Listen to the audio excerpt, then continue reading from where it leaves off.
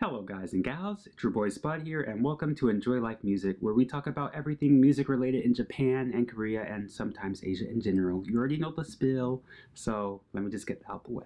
Anywho, today I have a music review for you. Today we will be checking out Mukai Taichi's latest album, Colorless. So without further ado, let's dive on in.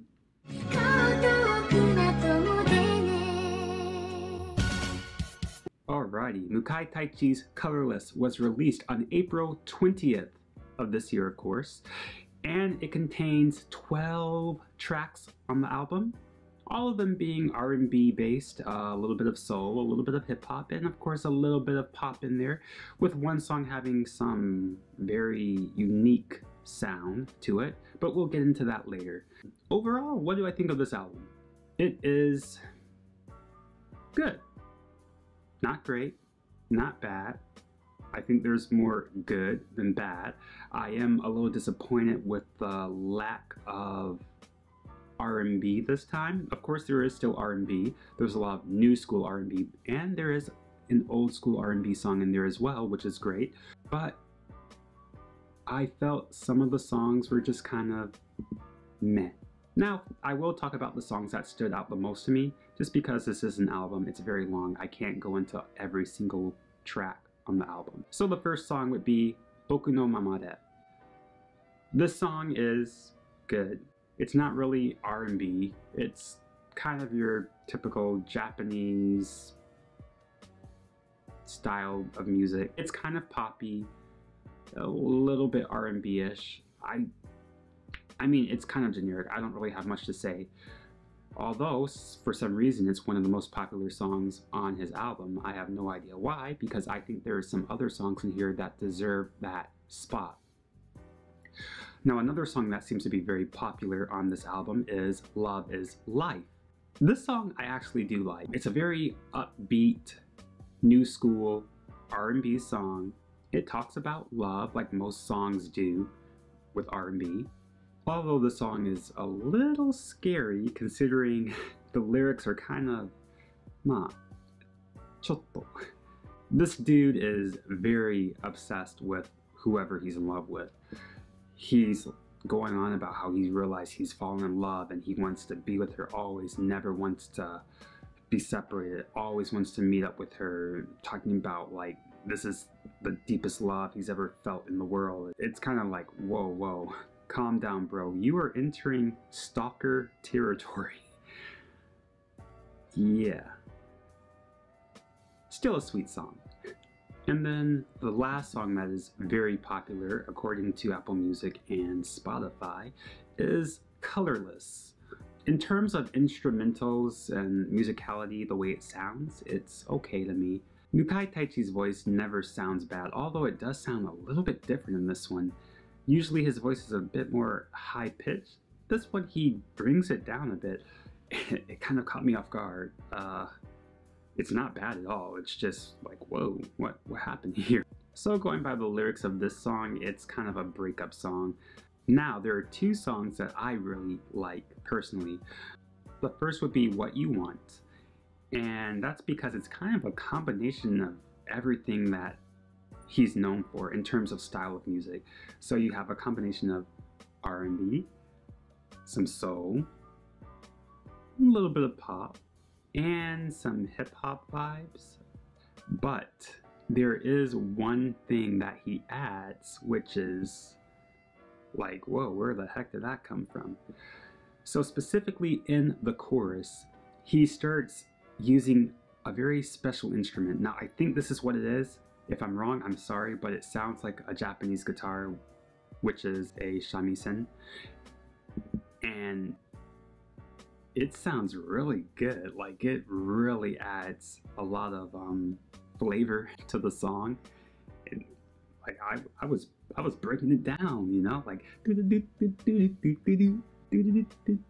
but yeah, it it was it was good. I really appreciated that song. And course, his singing voice is always wonderful. So, no complaints there. And then the other song I like is, of course, the baby making song. If you don't know, basically any R&B album has one of these songs in there.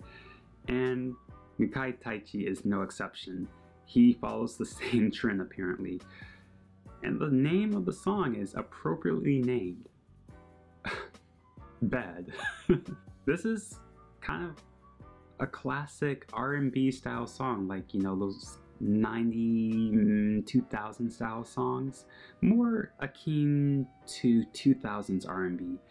The lyrics were pretty self-explanatory, so I'm not even going to go into that. Yeah, I'm just a sucker for those kind of songs. I love it. Great beat, real chill, close my eyes and just think about all the...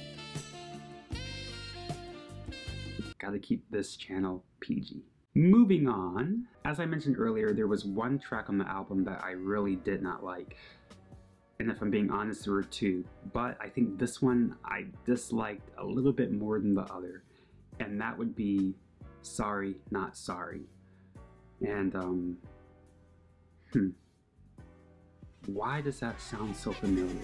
Where have I heard this title name before? Yeah, I'm just not feeling the song at all. I know it's more of a hip hop style song, but I just don't think Mukai Taichi's singing style really matches hip hop. Um, and that's why I had such a hard time enjoying the song. I mean, the lyrics are fine, but I just don't like how his voice mixes with the instrumentals. It just, something just sounds off. And that's why I also didn't like uh, Coming Up. I'm sorry, not Coming Up, Coming Up. Uh, that was another song I just couldn't get behind. It, it didn't seem to match the album, in my opinion. Now, another thing I noticed about this album, I'm not sure if it was done on purpose, but it was the naming of these songs. So if you just follow the list of each one of these songs, it's kind of telling a story, which there are some albums that do that, and I think maybe this might have been the case for this album. We start with 1. Boku no Mamade, then 2. Love is Life, then Ups and Downs, then Baby Cakes, then Coming Up, then Kanashimanai, then Get Loud, Don't Lie, What You Want, Sorry Not Sorry, Bad and Colorless. So from what it sounds like, you know, the first song is kind of like, you know, not being afraid of yourself, gotta do what you gotta do, I believe in myself, I am a strong person, 自分のことを信じて、その感じ. And then, you know, the second song, he realizes he's in love with this girl, baby cakes, talking about your girl, that kind of thing. And then the very last song, Colorless, is a breakup song. I'm sorry, maybe I'm reading too much into it, but I'm pretty sure I'm spot on with this. So that's that's a huge bonus. I give him props on that. That's not easy to do. So if I had to give a rating to this album, I would give it a 3 out of 5. So why is that? Well, it's pretty simple. Let me break it down. The good. A lot of variety with the songs. Good use of R&B, pop, and originality in some of his songs, especially What Do You Want? obviously great singing voice, the thing that really brought it up for me was the fact that his album actually has a story. The ups and downs of love, the whole process, the whole dating process. Confidence, get the girl, ups and downs, treasuring your girl, then the about to go wow wow, and then the breakup and all that kind of stuff. So, bonus points on that. Now, the bad. While there is a lot of versatility in his songs, I do believe that the hip hop portions of his songs just don't really work well. Um, that is my biggest gripe. And then some of his songs are just a little meh, just generic. They don't sound great. Um, they're they're decent at best. So that's why I'm bringing points down. All right, well, that was my review for Mukai Taichi's Colorless.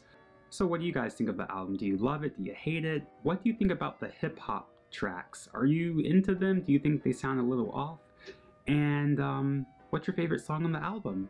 So go ahead and leave a comment down below and we can talk about this kind of stuff because it's always fun. And if you liked the video, go ahead and obliterate that like button. And if you really loved it, how about you subscribe right here and click that bell to be notified for any future videos that I upload because I do upload every week. So there is that. Also, be sure to follow me on Twitter because I do post on there occasionally. That being said, enjoy life enjoy music. Peace.